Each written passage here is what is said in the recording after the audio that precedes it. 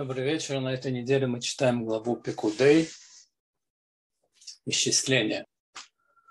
Конечно, все мы сегодня заняты вопросом войны между Россией и Украиной. Конечно, надо молиться, надо молиться, читать псалмы. Самое лучшее, что может быть у еврея, читать псалмы, чтобы прекратилась эта война. А каждый день в Толтот Ешурун Рафи Бенсон Зильбер читает псалмы – я могу сказать вам, что каждый может читать псалмы 121, 130 и 142 для того, чтобы прекратилась эта война, иметь в виду, для того, чтобы люди остались живых. 121 а, – это Кув Кав Алев, 130 – это Кув Ламет, и 142 – это Кув Мем Бет. 121, 130, 142, Куф Кав Алев, Куф Ламет и Куф Мем Бет.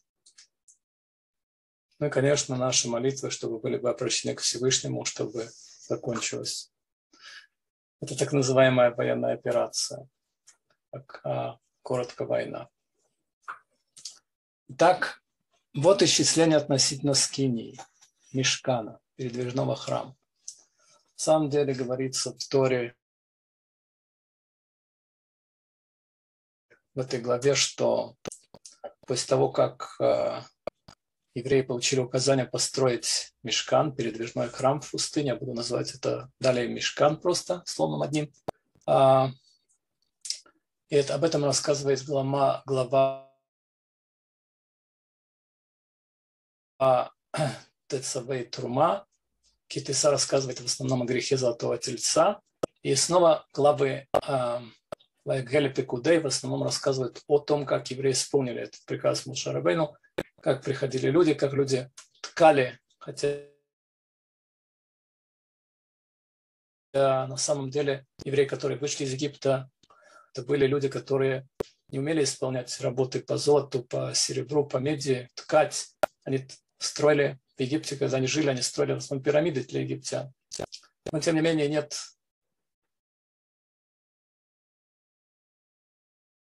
ничего, что стоит перед желанием человека. Если человек хочет, Всевышний посылает ему благословение, и он, а, и он строит даже мешкан, даже передвижной храм.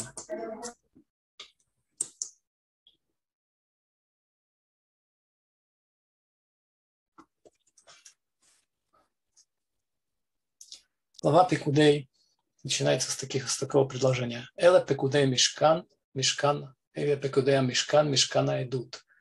И вот исчисление Мишкана, Мишкана свидетельства. Говорят наши мудрецы, что два раза повторяется слово «мешкан». И это намек на количество лет, которые простояли два храма в еврейском народе, которые были увеличены копией мешкана на храмовой горе. Значит, первый храм, который построил царь Шломо, простоял 410 лет, и второй храм простоял 420 лет. Так вот, э, гематрия слова «мешкан» 410, а «мешкан» 415 плюс 5 букв, которые составляют это слово, 420. Итак, первый храм простоял 410 лет, второй храм простоял 420 лет. А как же сам мешкан? Сам мешкан – передвижной храм 23-го а, Адара. Значит, 23-го Адара Мушарабейну начал его собирать и разбирать. Семь дней он его собирал и разбирал.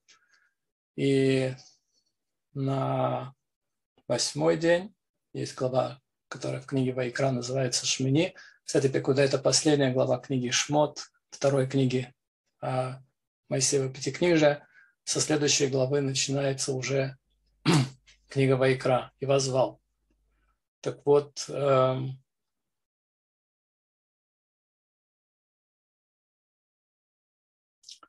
за 70 дней после того, как Моше Абейну спустился с горы э, Синай, Йом-Кипур, и когда сообщил еврейскому народу, что Всевышний простил грех евреев, грех Святого Тельца, За 70 дней детали мешкана были сделаны.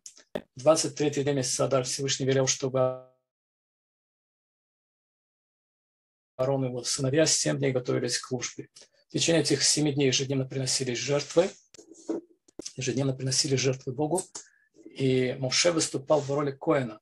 Причем он совершал службу как Коин. Это было прямое указание Всевышнего.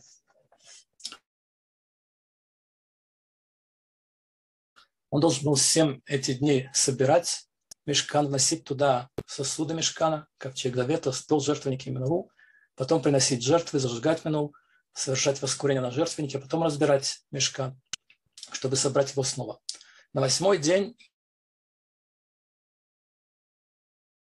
Рош Ходаш Нисан Муше собрал мешкан уже навсегда, то есть до следующего перехода в пустыне. И в этот день к священнослужению приступил Аарон.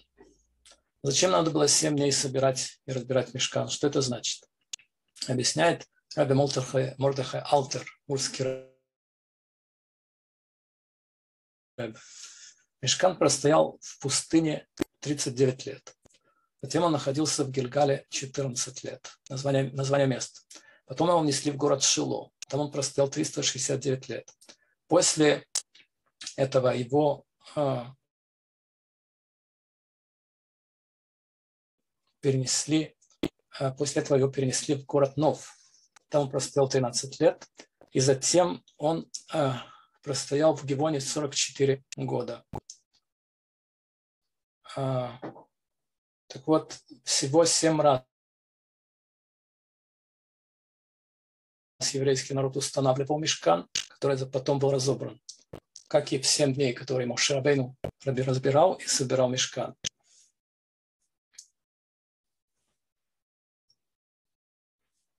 Первый день месяца Ходыша, первый день месяца Нисан, Моше Рабейну собрал мешкан и больше уже не разбирал его. Тоже будет с третьим храмом. Он останется навечно. И так говорит пророк Ихискель. Узнают народы, что я Бог, Господь Бог, освящающий Израиль, тем, что будет мой храм среди них навечно. Но пока эти храм не построил, мы, евреи, можем исполнять мецву постройки мешкана. Во-первых, мы ее исполняем, э, строя, как написано в Торе, «Вясули мигдаш вешаханты бетухам». Как написано в Торе, «Сделайте мне храм, и я буду, моя шхина, мое присутствие будет среди вас», так говорит Бог. Во-первых, мы можем исполнить эту митцу, эту заповедь, строя мешкан у себя в душе, очищая себя. Во-вторых, когда мы строим синагоги и дома учения, то этим мы тоже исполняем митцву. Как известно, синагога и дом учения называется маленьким храмом, поэтому в синагогах, в бейт-мидрашах надо вести себя особенно четко, не разговаривать о будничных вещах, разговаривать только о святости, потому что это маленький храм.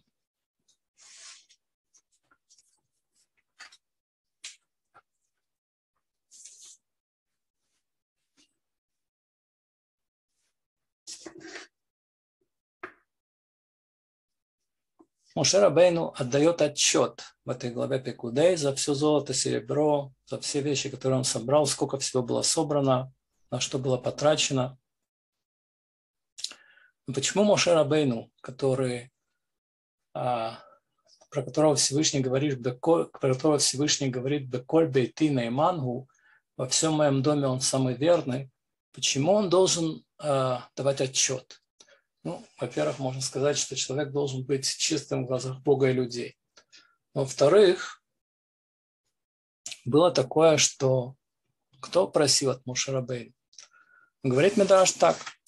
Услышал Мушарабейну, что насмешники разговаривают.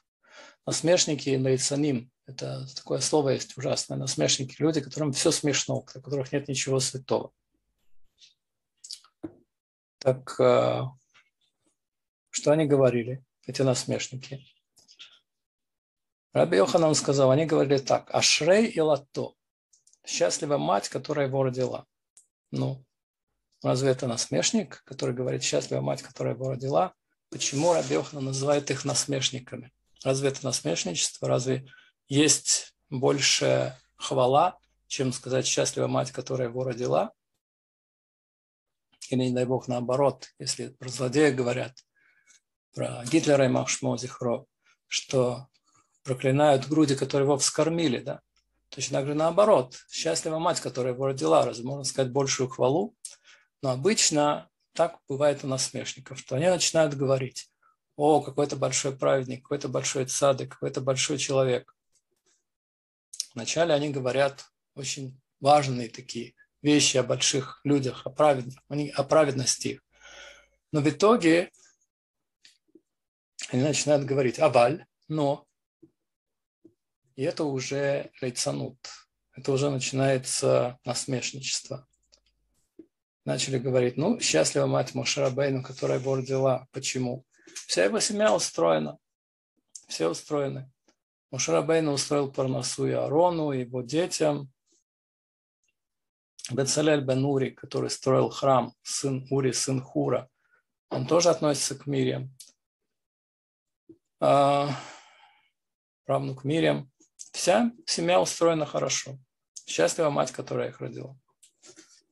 И продолжает Мидраш, что Равхама сказал, стали говорить, посмотрите на его шею, посмотрите на шею. Когда, они, когда Мушарбейну проходил, они говорили, посмотрите на его шею сзади. Какая вскормленная шея. Ну разве может быть так, что он собирал на мешкан на, и ни из чего не оставил себе? Разве может быть так, что ничего не прилипло? Понятно, что что-то прилипло. Или золото немножко, или серебро. Понятно, что что-то прилипло. Понятно, почему у него такая шея. Но это очень непонятно вообще. Почему? Потому что какая может быть шея в пустыне? Какая может быть шея в пустыне у Мушарабейну? Там кушали ман, и было точно одинаково у всех, один одно и то же количество. Мушарабейну, как и все, кушал ман. Зачем ему нужны были деньги в пустыне? Зачем ему нужно было золото в пустыне? Что он мог там купить? Что он мог там заказать в ресторане? Там были рестораны. Но это сила насмешничества. Они не думают о том, что они говорят. Но при этом яд заходит глубоко. При этом яд заходит глубоко. То есть главное, чтобы насмешничать. Главное, чтобы посмеяться. И никто не спрашивал Муша Бейнудин Вехашбон. Никто не спрашивал у него, чтобы он дал отчет. Никто не просил его. Но понятно, что если Муше Рабейн услышал такие речи, то понятно, что он решил стать чистыми в глазах людей. Поэтому глава Пикудей, а, глава Пикудей, она рассказывает о том, что а, сколько всего было дано еврейскому народу – на Мешканес и куда это все пошло.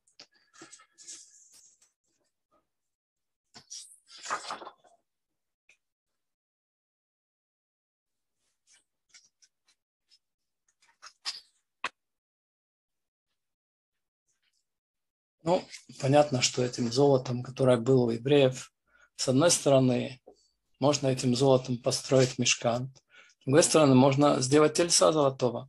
Так Всевышний создал этот материальный мир. Или ты освещаешь материю поднимаешься вместе с ней, или ты опускаешься очень глубоко с этой материей вниз. Один раз э, сидели ученики у Равштемана, Захранот Садыка Доши Браха, и учили с ним Гемару,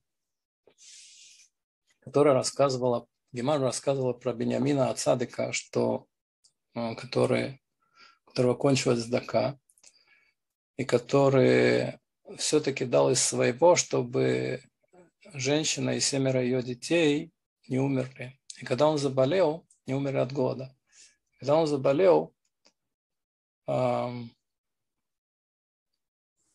то добавили ему 22 года жизни с небес. Интересно, что я слышу подобную историю, хасидскую историю, которую рассказывают один хасидский рэбе как-то был в одном местечке. В этом местечке жил один габайт задака. Что такое габайт задака? Это тот, который собирает задаку на бедных. Вот э, он вдруг почувствовал, как цадык, у него есть особая интуиция, особое чутье, руха кодыш, можно сказать. Чувствовал, что есть запах Ганедана, запах рая в этом доме. И он как бы пошел по запаху и открыл шкаф. Просил открыть, наверное, шкаф. И увидел там рясу священника. Очень удивился. Почему от этой рясы исходил запах рая. Он попросил этого человека рассказать историю, которая связана с этой рясой. Тот человек, которого был Габай Зака, рассказал ему, что один раз у него была такая ситуация, вы знаете, были вот сейчас э, беженцы с Украины прибывают в Польшу, им дают политическое убежище Англия, Швейцария. Даже некоторые начинают думать, что неплохо быть беженцами из Украины, не дай бог. Так вот, э, раньше евреи так были так называемые погорельцы. Если в местечке горели дома, дома были деревянные, то горело все местечко обычно. Люди теряли все. И никакая ни Англия, ни Франция, ни Швейцария не давали никакого политического убежища. Ходили по дорогам, ходили в разные местечки еврейские, собирали цедаку. И вот у этого Габай Цедака один раз у него кончилась цедака, у него не было возможности помочь этим людям, которые пришли к нему. Это был мамаш, ситуация пиквах на опасности для жизни. Потому что эти люди, буквально у них не было ничего, они могли умереть от голода. И тогда он понял, что он больше не может пойти к богобоязненным людям в свое местечко, он уже просил у них все, что только можно было, и больше того, чем можно было.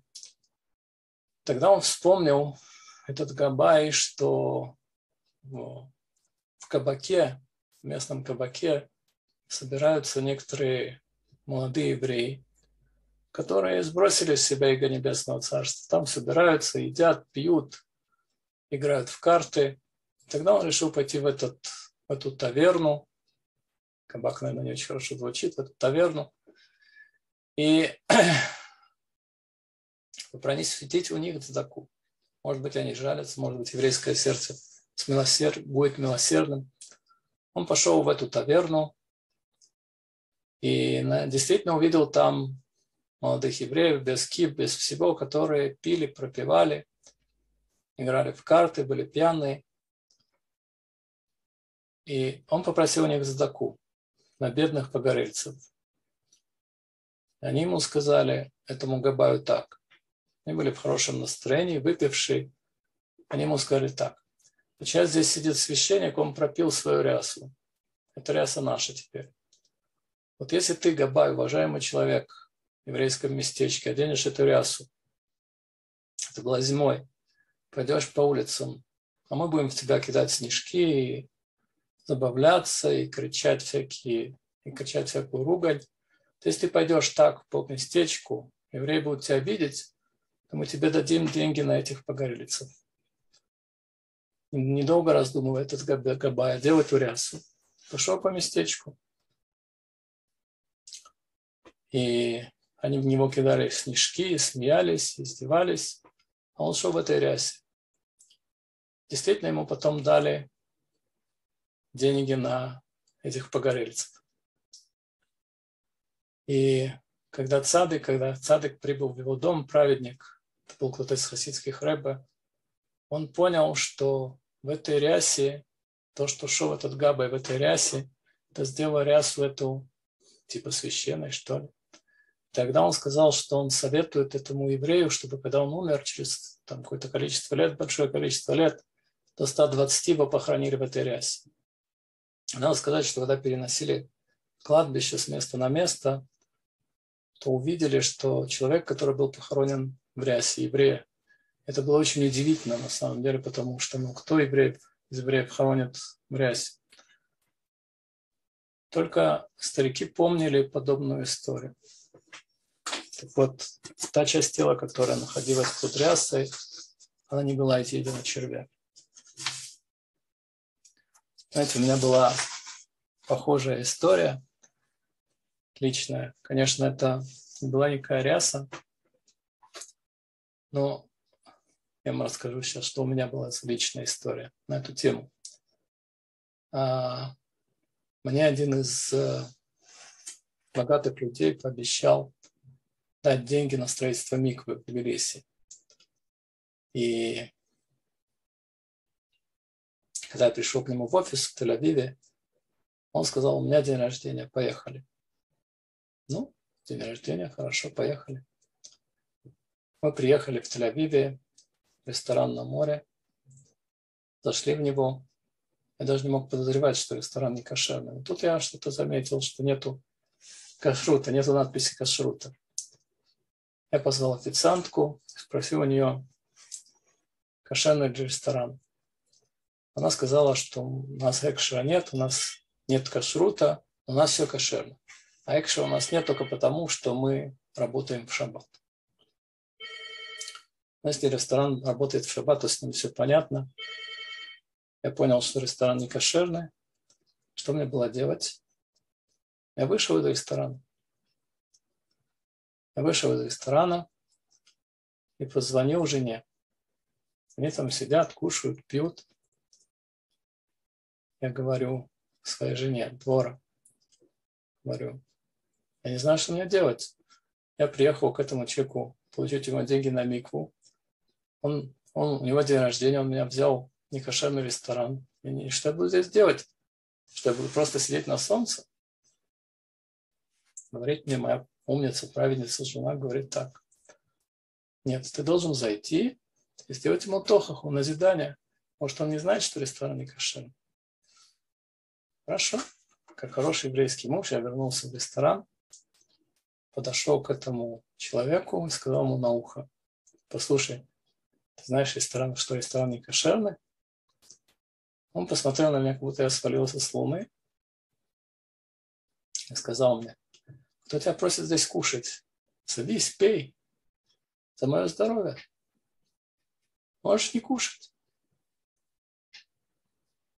Я решил, что все равно находиться в ресторане дальше не имеет смысла и не имеет э, нельзя, потому что могут люди пройти, есть такое понятие хилашем, осквернение имени Всевышнего, когда увидят э, религиозного человека, который сидит в некошерном ресторане, то, во-первых, могут подумать про меня плохо, что я там кушаю.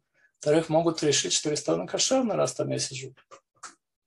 Поэтому я вышел из ресторана и стал слушать лекции, закрывал глаза, потому что думал, что проходят не совсем кошерно одетые женщины. Слушал лекции по Торе, по МП. Три тогда было у меня. Потом я решил, что если я буду сидеть с закрытыми глазами, они могут уйти, я не замечу. Тогда я открывал глаза, закрывал глаза, открывал глаза. В итоге, когда они вышли, через часа полтора, он мне сказал, «Ва, где ты был? Мы тебя искали. Пили за твое здоровье». Ну, я сказал, что я здесь был неподалеку. Мы вернулись в его офис, я получил деньги на микву. Так что мое сидение не пропало даром.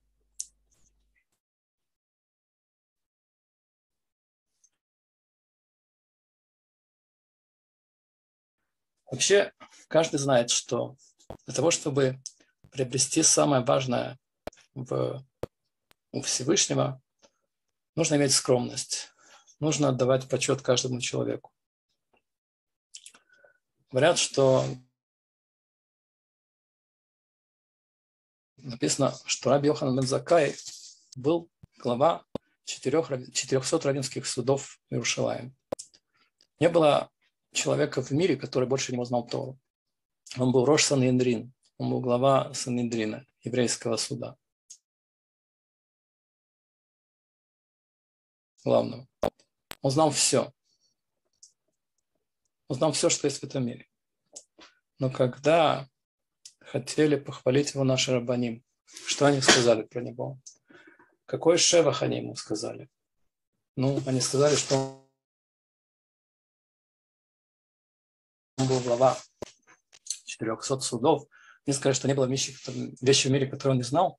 Нет. Они сказали, что не было ни одного человека, в том числе не еврея, который бы успевал первым сказать шалом. То есть он первым всегда здоровался. Кто бы это ни был. И когда человек первым здоровается, то он этим показывает, как он уважает второго. Что он рассматривает другого человека как образ Божий, как образ Божий, который он встретил.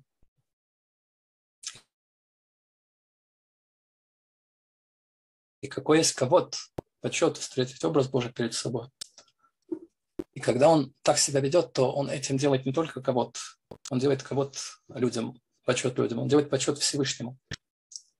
Ведь Всевышний создал одного человека только в начале, чтобы каждый человек мог сказать, весь мир создан только для меня. Поэтому понятно, что когда человеку отдают кого-то, дают кого-то почет образу Божьему, который в нем.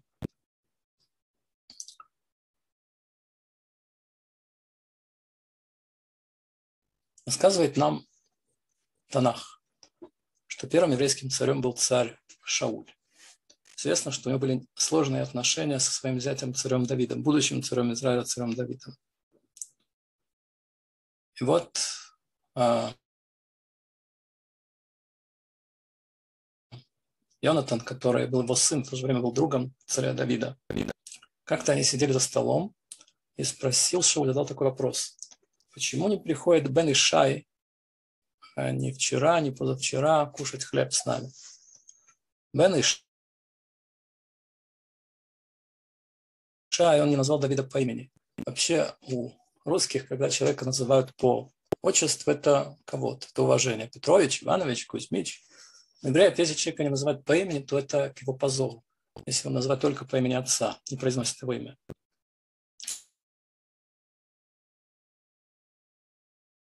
Спрашивает, говорит Раби Шмелка из Николсбурга. Он сказал так. Почему не приходит Бен Ишай? Ну, кто называется еще Бен Ишай? Машиах. Говорю Раби из Никольсбурга, сын Ишая, почему не приходит Машиах? потому что Машех происходит от царя Давида. Так вот, э, почему мы находимся 2000 лет в Галуте и не видим конца? Ну, когда в последний раз мы молились у Бен Ишай, мы каждый день, особенно когда молимся Филу Амиду, когда молимся молитву Амиду, особо нас, особая кавана у нас, когда мы произносим Шма Кулейну, услышь наш голос – но когда мы, на самом деле плачем о Галуте, с какой каваной мы произносим, с каким устремлением мы произносим Буней Рушалаем, каким, с какой каваной, с каким устремлением мы произносим от смеха Ишуа, от смеха Кирн Ишуа, то есть брахот благословения, которые говорят о приходе Машеха. Почему не приходит до сих пор Бен Ишай? Да? То есть потому что, так сказал царь Шауль в тот момент, Йонатан понял, что э, он хочет, он плохо относится к царю Давиду. Понятно, что он хочет, он хочет его убить, тем более, что когда он там что-то возразил Шауль, то тот просто э, впал в ярость. Элалехем. Почему они приходят? Потому что мы заняты только хлебом. Мы заняты только нашим хлебом насущным молимся Парнасе, Барахалейну, Дашиназот, благослови наш год, значит, пошли нам выздоровление. Но мы недостаточно молимся о приходе Машиах.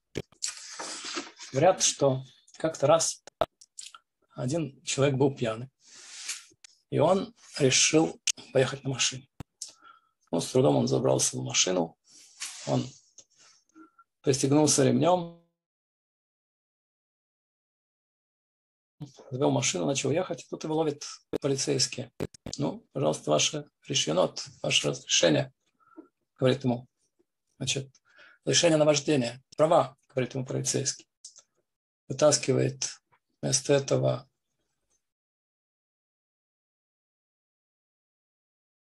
двести рублей, это старые еще рубли, дает ее, дает ее 200 рублей вместо а, правды полицейскому. Берет полицейский эти деньги, говорит ему, ну езжай. Он продолжает ехать, через 100 метров снова стоит полицейский, уже другой. Ваши права. опять достает 200 шекелей. В этот раз снова полицейский берет эти деньги, продолжает свое движение. Через 100 метров его останавливает еще раз полицейский. Что ты хочешь, спрашивает его пьяный. Говорит ему прямо полицейский. Я хочу 500 шекелей. 500 шекелей, 500 рублей. Ты недостаточно того, чтобы что недостаточно того, что ты не делаешь твою работу, ты берешь взятки, ты еще берешь два с половиной раза больше, чем твои друзья. Поэтому полицейский. Глупец, пойми, я тебе делаю доброе дело. Если ты мне дашь сейчас 500 рублей, я покажу тебе, как выезжают с этой площади. Ты не должен будешь мне каждый раз платить за каждый круг еще 200. Мы хотим выйти из площади, которая называется Хурбан, которая называется разрушение храма. Как выходит оттуда?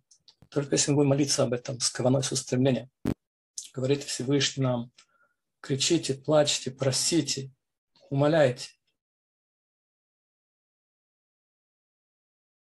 Тогда Всевышний нам поможет. Тогда Всевышний только нас спасет.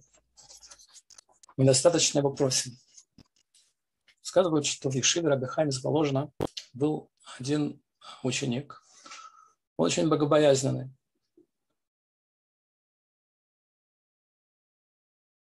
И один раз он заболел и должен был поехать вне города, чтобы а, должен был ехать из города попасть к врачам.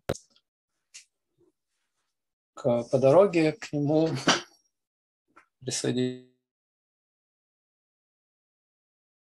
присоединился еще один парень, и они заночевали, ночевали в одной гостинице в постоялом дворе. На следующее утро они заплатили хозяйке этого постоялого двора за трапезу и ночевку.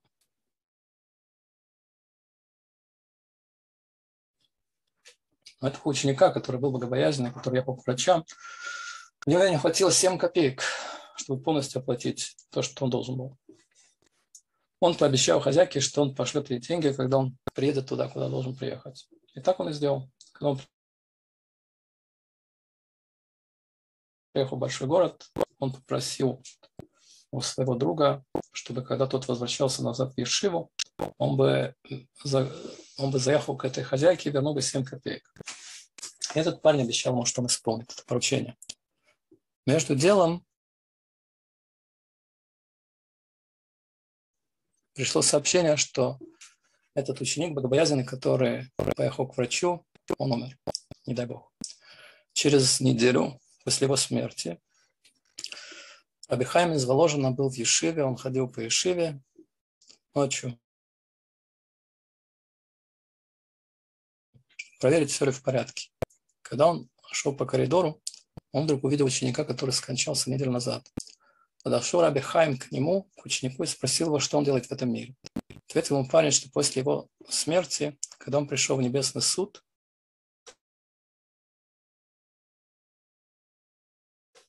Понятно, что он был абсолютно без грехов, и понятно, что его тут же отправили в рай. Но когда, его, когда он хотел зайти в рай, его остановил ангел, который был ответственен за вход в рай, и не давал ему заходить в рай, потому что уверял, что он не исполнил в мире свое предназначение, что он остался должен 7, 7 копеек хозяйки. Из-за того, что он не может, не заплатил это, он не может его впустить в Ганайден рай. Тогда этот парень вернулся на небесный суд и сказал, что он поручил своему другу заплатить эти 7 копеек. Ему сказали, что, видимо, твой друг забыл исполнить то, что ты его просил. Сказал парень, ну если он забыл, то чем я виноват? Ведь это я свою, свою обязанность я выполнил, я передал ему, чтобы он отдал этой женщине деньги. Бейдин небесный, небесный суд принял его претензию его, ему разрешили вернуться в этот мир и поехать в Ешиву Воложен, пойти в Ешиву Воложен и поехать, повернуться в этот мир в Ешиву Воложен и попросить у Рава, чтобы, чтобы вернули этой хозяйке постоялого двора 7 копеек. После того, как глава Ишива Рафхайм пообещал этому парню, что он исполнит его шлихут, и что он даст посланничество, что он даст эти 7 копеек хозяйке, он сказал ему, ну, иди отдыхай. Он сказал этому парню. В тот момент парень исчез. Эта история нас учит, насколько важно человеку ни у кому не оставаться, ни перед кем не оставаться в долгу в этом мире. И даже если человек сомневается, что он должен кому-то, надо возвратить, надо дать этому человеку деньги, чтобы это не было препятствием. Видите, даже один такой грех, когда человек остается должен кому-то в этом мире, может не позволить ему зайти в рай.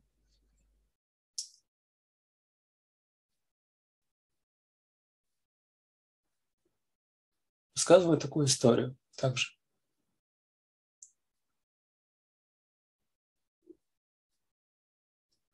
Как-то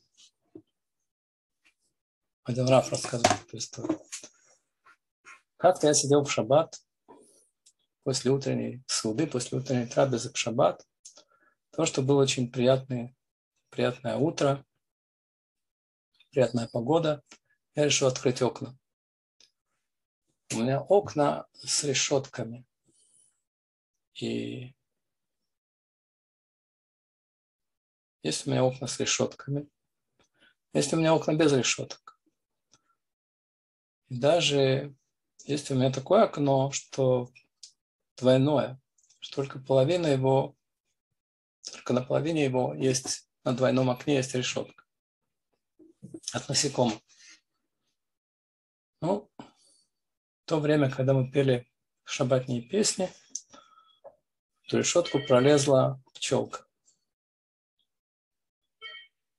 Значит, она нас не пугала, и детей не пугала, потому что все ее желание было выйти.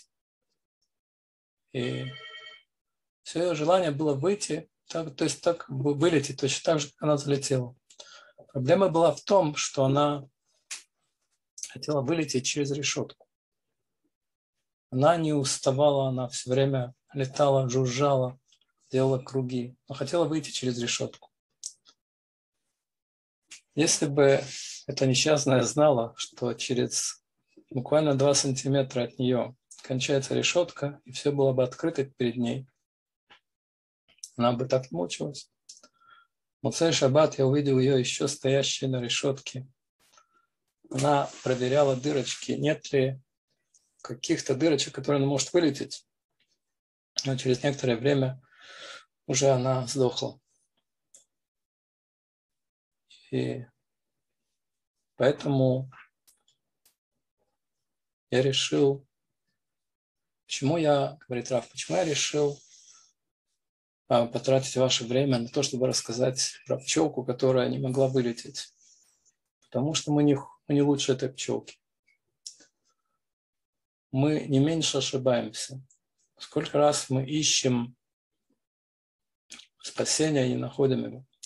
Каждый из нас знает. Написано у нас, у пророков написано Ишуада Шем Керев Айн, что спасение Бога, оно приходит, как глазом не успеешь моргнуть. И оно приходит из места, которое обычно не ждешь от него, этого спасения, из этого места.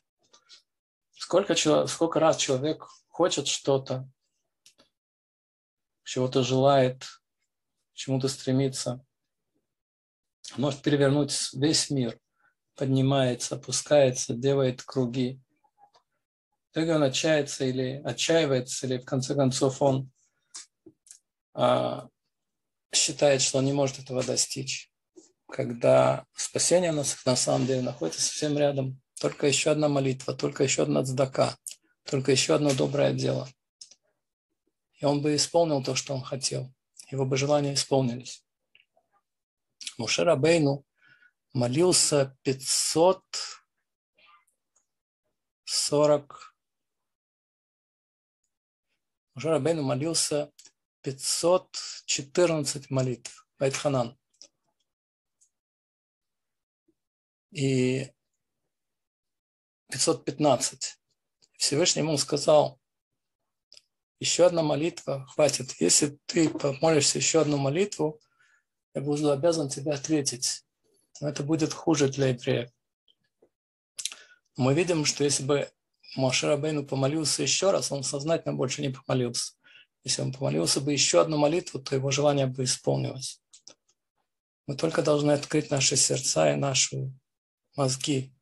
Тогда Всевышний откроет нам ворота. Тогда мы зайдем туда, куда мы хотели зайти. Только одна молитва, только одно доброе дело, только еще одна цдака.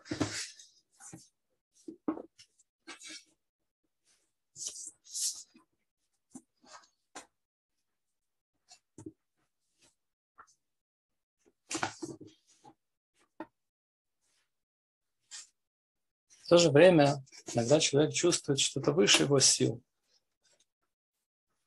В этой главе мы находим, что не может быть такого, чтобы что-то выше твоих сил, выше сил еврея. Если человек ставит себе определенную задачу, то нет ничего выше его сил. Знаете, как было практически нечеловеческих усилий стоило Мушера Бейну собирать и разбирать мешкан. Потому что эти, а, они были сделаны из дерева шитим, мешкан стенки мешкана. А еще были покрыты золотом. Был огромный вес. В то же время как бы Всевышний говорит, ты делай свое, я буду делать свое. Когда у человека, когда человека, например, есть какая-то ситуация, когда у него опасность для жизни, или когда у него а, какая-то сложная ситуация жизненная, то в нем просыпаются силы, о которых он и не думал. Эти силы в нем были, просто их надо было разбудить написано, и сказал Моше, и написано, и увидел Моше всю работу, которую евреи сделали. Увидел он всю работу, и вот сделали ее. Как заповедовал Всевышний, так сделали. И благословил их Моше. Мы видим, что два раза в этом предложении написано, два раза написано «Эйне асуота», и вот сделали ее. Кашерцева Ашем кенасу, когда, как заповедовал Всевышний, так сделали. Зачем написано два раза? Понятно, что в Торе нет ни одного лишнего слова. Кстати, Рамбан задает вопрос, почему Тора, которая э, очень скупо нам, например, законы запрета мясного с молочным, который, на которой написаны целые книги Шухана Руха, огромные, много страниц Шухана Руха, они строятся из трех посуков, из трех предложений Торы «Не вари козленка в молоке его матери». Почему в то же время законы Мешкана повторяются так в нескольких главах. Понятно, что надо сказать, что Моше получил приказ, и что евреи сделали. Понятно, что это особая любви Всевышнего к этому, потому что Рамхаль говорит, что главная суть создания этого мира в том, что Бог хочет, чтобы мы сделали ему в этом мире жилище. Поэтому мешкан – это суть, это цель для которой был создан мир. Что когда мы делаем Всевышнему жилище в нижних мирах, в этом мире, в самом таком, одном из самых низких миров, то этим мы исполняем то, ради чего Всевышний создал мир. Поэтому так Тора подробно рассказывает нам об этом. Но все-таки зачем написано в этом предложении «так сделали»? Этот мир каббалисты называют улама сия. Этот мир называют мир делания. Этот мир, он очень материальный. Но в то же время в силах человека превратить в этом мире материальную вещь в духовную. Давайте приведем пример этого. Человек, у которого есть балки, когда наступает праздник Суккота, он строит из них суку, он строит стенки сухие, он строит ксхах, покрытие суки. И когда человек это делает, то от 15 тысячи, от 21 тысячи в день праздника Суккот попадает святость на эту суку. Поэтому если человек хочет, например, из этой балки, которая в обычный день, он может взять из нее, оторвать кусочек а, дерева, использовать его в качестве зубочистки, то в Суккот он этого делать не может, потому что вся сука превращается в кодыш, в святое. И запрещено человеку иметь от этого пользу. То есть явные такие материальные вещи, как, а, как стенки суки, как схах, как покрытие суки, их можно сделать духовными. Человек, который вешает плоды в суке, это украшение, не может их есть весь праздник Суккот. Потому что если он повесил их для украшения митцвы, для украшения суки, они превратились в кодыш, их запрещено есть. Их можно есть только после окончания праздника. Человек, который пользуется своим столом в течение многих лет, вдруг в один день он решил, что этот стол будет посвящен храму. С этих пор он не может есть за этим столом. Этот стол превратился в кодыш, в святое. То есть из этих примеров мы видим, что человек может превратить обычную материальную вещь в духовную вещь. Написано у царя Шломо в Мишле. Вехоль драхеха даеву. Во всех двоих дорогах познавай Бога. То есть человек, который думает на какую-то материальную вещь, хочет ее превратить в духовную, например, человек, который ест для того, чтобы у него были силы служить Богу, так он превращает еду в духовную вещь. Рассказывается про Ханоха, что написано, что в Торе про Ханоха, что он был цадык, что он был праведник и ходил перед Богом. Нет его, потому что взял его Бог. Взял его Бог, него, что значит взял его Бог? Взял его Бог живым на небо. Настолько он был праведник. В чем же была его праведность? Он был сапожником. Каждый, каждый раз, когда он делал, когда он шил туфли, и каждое движение он делал во имя Бога. Он делал, чтобы люди ходили в этих туфлях, и чтобы они получали удовольствие. Знаете, точно так же, если у нас есть, например, человек может быть водителем такси, и он заботится о том, чтобы его пассажиру было удобно. Он не курит в такси своем. Он не делает так, чтобы пассажиру его не, не было бы неприятно сидеть в его такси. Он обслуживает его, он относится к нему добросердечно, он здоровается с ним. Он этим служит, он этим превращает свое такси в маленький мешкан. То есть он делает из материальной вещи духовную. И поэтому все зависит от каваны человека, от стремления человека. Поэтому он может зарабатывать деньги. Это никому не воспрещается. Один может зарабатывать деньги. Это не будет считаться ему митцвой.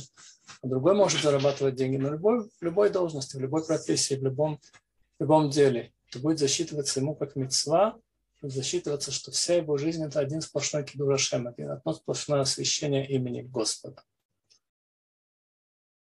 Так давайте делать это побольше, что освящать имя Всевышнего на земле нашей жизни. Слава Богу, сейчас не то время, когда смертью надо освящать имя Всевышнего. Слава Богу, никто не заставляет нас отдавать своей жизни за Тору. Хотя мы должны быть готовы к этому. Так давайте своей жизнью то, что хочет нас нас Всевышний. Освящать Его имя. Брать пример с таких людей, как Раби Йоханан бен Закай – который уважал каждого человека, который не было человека, который бы опередил его, сказав ему шалом, для того, чтобы говорили, вот этот человек, который делает так, что Богу дается жилище в этом мире.